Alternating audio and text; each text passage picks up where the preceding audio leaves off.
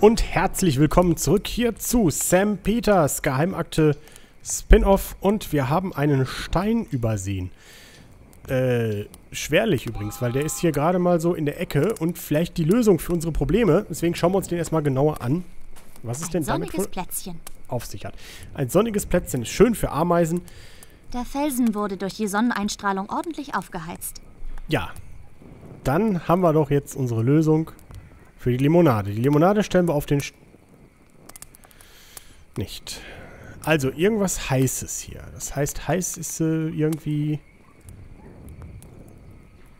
Der Felsen wurde Hm, haben wir denn in der Szene noch was anderes übersehen? Bevor ich ziellos durch den... Also so heiß, dass wir hier eine Eisenstange drauflegen könnten und schmieden, ist da wahrscheinlich nicht nein. Und in die Feuerstelle können wir den auch nicht tun. Okay. Vielleicht können wir die Batterien zum Explodieren bringen, wenn wir die hier drauf tun. Nein, auch nicht. Das Maßband kann man in dem Stein auch nicht benutzen. Und wir suchen ja nach wie vor noch Hinweise, ob wir, ähm, oder wie wir, vielmehr. Moment mal. Der Schraubenschlüssel passt, aber ich habe nicht genug Muskelschmalz. Die Winde bewegt sich keinen Millimeter. Ja, da haben wir ja ein Rohr. Der Schraubenschlüssel lässt sich ins Rohr stecken. Und jetzt geht's.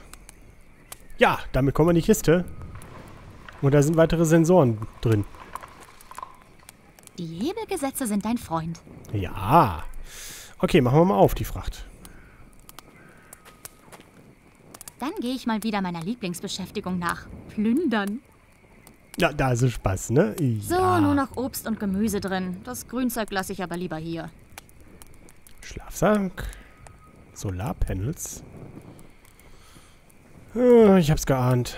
Noch mehr Sensoren. Okay, ja, mit dem Schlüssel kriegen wir schon mal den Spind auf. Und ich bin mir ziemlich sicher, dass wir die Sensorenausrichtung mit den äh, Solarmodulen die Sensoren befeuern werden und dann, äh, das sehen wir gleich. Na also, passt. So, was haben wir hier? Im Verbandskasten den nehmen wir mit. Noch ein Sensor war klar. Ein Brief, den lesen wir. Und Laptop nehmen wir mit. Ansonsten haben wir alles. Na, alles raus. Gut, dann lesen wir mal den Brief. Wir lesen den Brief. Diesen Brief hat der Professor zum Hochzeitstag von seiner Frau bekommen. Nur langweiliges Gesülze. Mein Liebling, ich hoffe, diese Grüße erreichen dich auch am Ende der Welt. Die folgenden Zeilen zu unserem 22. Hochzeitstag schicke ich dir ganz altmodisch und von Hand geschrieben auf einem Bogen Papier. Danke, dass du immer für mich da bist. Was wäre ich ohne dich? Ich denke an dich und hoffe, dass du bald wieder zu Hause bist und wir unsere Feier nachholen können. So. Nachdem wir das geklärt haben, äh, gehen wir mal wieder raus. Achso, Laptop. Äh. Aber wir gehen mal lieber. Ich krieg's ja hier in den Rücken, wenn ich die ganze Zeit unter der Hü- Hütte hänge hier. Dem Aufkleber zufolge ist das der Laptop von Professor Hartmann. Leider ist der Akku leer. Also kein Thema, wir haben Batterien. Äh. Wo sind die Batterien? Ah, komm, komm her. Soll ich denn mit dem Schlafsack oder was ist das da eigentlich? Na, wäre schön gewesen. So, was haben wir hier? Ein Ein Schlafsack. Schlafsack. Kuschelig warm und gleichzeitig auch der Kosename für meinen letzten Freund. ich check mal den Verbandskasten. Oh. Aspi. Rien. Mullbinden. Ach du liebes Lottchen. Ich hatte mir ja immer bei den letzten Adventuren, ihr erinnert euch vielleicht gewünscht, dass man mehr Teile hat zum Kombinieren. Das habe ich jetzt davon. So, jetzt gucken wir uns mal die Sensoren an. Ein Sensor mit einem Wirkungsbereich von 90 Grad. Okay, 90 Grad ist zum Beispiel auch das hier. Also, Ein Sensor mit einem Wirkungsbereich. ja. Den können wir also locker auf dieses Stativ klemmen. 90 Grad, das sollte passen. Ich nehme an, der Sensor gehört auf das Stativ. Jo, was haben wir noch? Ein Sensor mit. Dieser Sensor erfasst einen Bereich von 75 Grad. Uiuiuiui. Das könnte auch das hier sein. Also das könnte eher 75 Grad, denn 90 sein. Aber ich weiß ja noch gar nicht, was wir machen sollen. Also Von daher gesehen, no, das sind auf jeden Fall 90. Würde ich sicher sagen. 90. Das sind auf jeden Fall 90. Das hier ist ein sehr weiter Winkel. Das hier können auch 160 Grad sein. Was haben wir hier noch? Dieser Sensor hat einen Wirkungsbereich von 120 Ui. Grad. Ah, das könnte man ja ausrechnen, ne? Innenwinkelsatz und so. Also von hier nach da nach da. Ist das weniger als 90 Grad? Ich weiß nicht. Ist egal, wir wissen sowieso noch nicht, was wir machen sollen damit. Hm, in den Ampullen ist reiner Alkohol. Ja, reiner Alkohol bringt uns erstmal nichts. Ein paar Schmerztabletten sind noch übrig. Dann haben wir noch die Solarmodule. Das mobile Solarladegerät muss vor Inbetriebnahme erst zusammengebaut werden. Äh, ja. Dann bauen wir es mal zusammen. Äh. Der Regler ist ein guter Ausgangspunkt. Ich lasse. Ja. Ähm. Adapterkabel. Netzteil. Netzkabel. Also das, äh, das werden wir noch brauchen. Verbindungskabel, Adapterkabel. Tick, tick. Zack. So, und die Solarpanel, die müssen wir wahrscheinlich so zusammenbauen, dass die... Erstmal müssen wir das hier drehen. So. Das drehen wir auch. Und dann haben wir hier schon mal den Anschluss für das Netz, äh, fürs Netz, äh, für das, ähm... Ach, ihr wisst schon. Fürs Notebook, genau. Okay, so, jetzt äh, da müssen wir jetzt gucken, wo haben wir denn hier einen Eingang? Oder wie können wir die Platten logisch anordnen, dass die alle ineinander passen? Haben wir hier überhaupt einen Eingang? Da ist der Eingang. Klack. So. Nächstes Panel ist äh, das. Nicht. Doch, das müsste aber richtig sein hier. Ja, das sieht aber nicht richtig aus. Äh, das hier könnte es auch sein. Und das passt schon eher. So, dann das hier könnte jenes sein. Passt. Das hier so auch noch einmal drehen. Ist das. Dafür, dass ich Puzzles nicht mag, habe ich das eigentlich ganz gut hinbekommen, oder? Ja, damit können wir jetzt das Notebook benutzen. Dann schauen wir mal, was uns das zu sagen hat. Ich schließe das Solarladegerät an den Laptop an. Notebook. So, das Solarladegerät hängt jetzt am Laptop. Fehlt nur noch etwas Sonnenschein. Notebook. Ja, jetzt wissen wir auch, wofür wir den Stein brauchen. Ich pack den Laptop und das Solarladegerät Notebook. hier in die Sonne.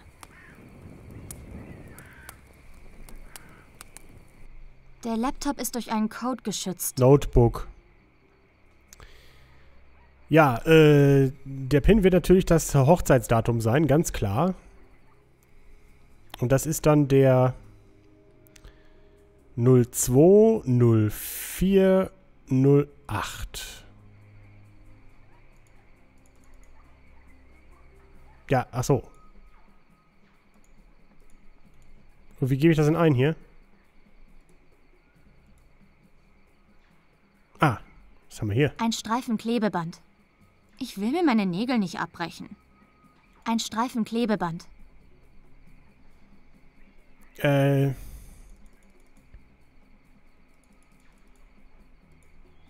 Das dürfte ein paar unschöne Kratzer geben, aber der Zweck heiligt schließlich die Mittel. Soll das das Herstellerlogo sein? Nein. Erinnert oh. mich eher an eine Hochzeitsanzeige. Ja, ich will es doch einfach nur eingeben. Ach so, geht schon. äh, null. Was war das jetzt?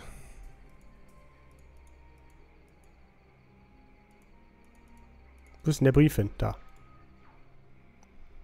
Also 020408. 2 0 4 Oh, Leute.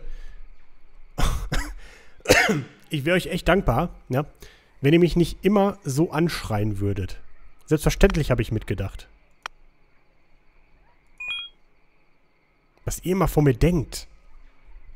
Habe ich euch erwischt? Schreibt es in die Kommentare. Okay. Ähm, Scheint eine Art Tagebuch zu sein. Schauen wir mal. Klingt vielversprechend. Viren, die für Evolutionssprünge verantwortlich sind. Die Story wäre eine absolute Sensation. Das stimmt Ob allerdings. an diesen Spukgeschichten was dran ist? Scheiße, womöglich sind die noch in der Nähe. Ich sollte ab jetzt verdammt vorsichtig sein. Zumindest weiß ich jetzt, wo ich den Professor finde. Fehlt nur noch ein Hinweis darauf, wo genau diese christliche Mission ist. Äh, achso, wir sind überfallen worden. Und, äh.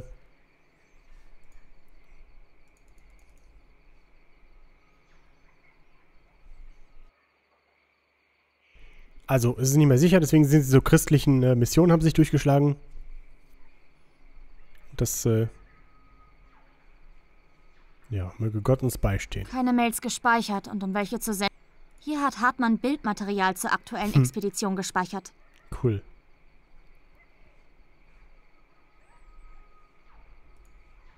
Die Karte des Lagers. Ah, sehr gut. Also, äh, hier ist die Hütte. Da ist das Wasser. Das heißt, wir gucken von hier. Ich würde sagen, wir gucken von hier in die Szene rein. Das heißt für mich, äh, das hier ist der 75-Grad-Winkel. Der hier hat 90. Der hat 90.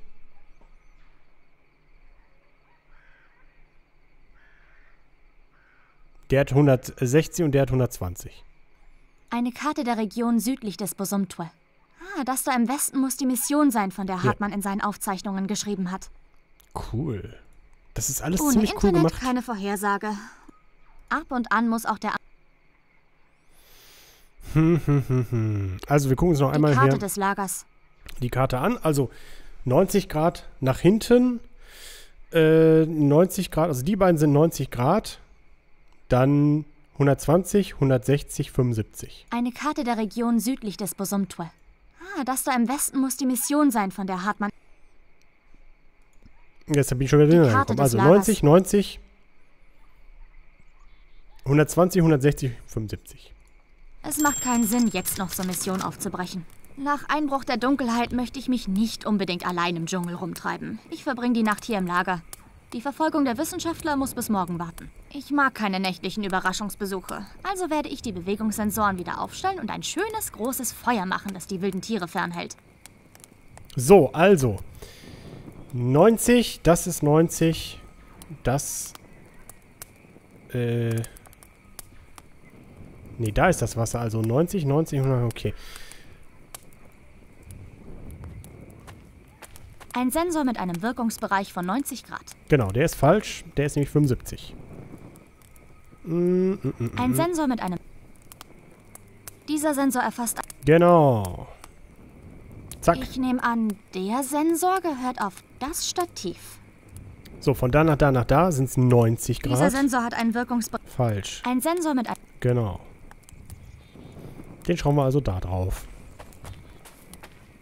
Ich nehme an, der Sensor. Jawohl. So, dann haben wir hier, das waren 160 Grad. Der Wirkungsbereich dieses Sensors beträgt Genau. 160 Grad. Der hier hat 120. Nein, der hat 90. Auf dem Sensor steht Wirkungsbereich 90 Grad. Genau, den müssen wir abbauen. Und da kommt jetzt der 120er Dieser hin. Sensor hat ein... Ich nehme an, der Sensor gehört auf das Stativ. Feuer haben wir ja auch schon gemacht. Äh, genau. So, Aspirin kann ich auch noch nehmen. Schlafsack habe ich auch. Kann ich zur Feuerstelle legen, oder? Hm. Naja.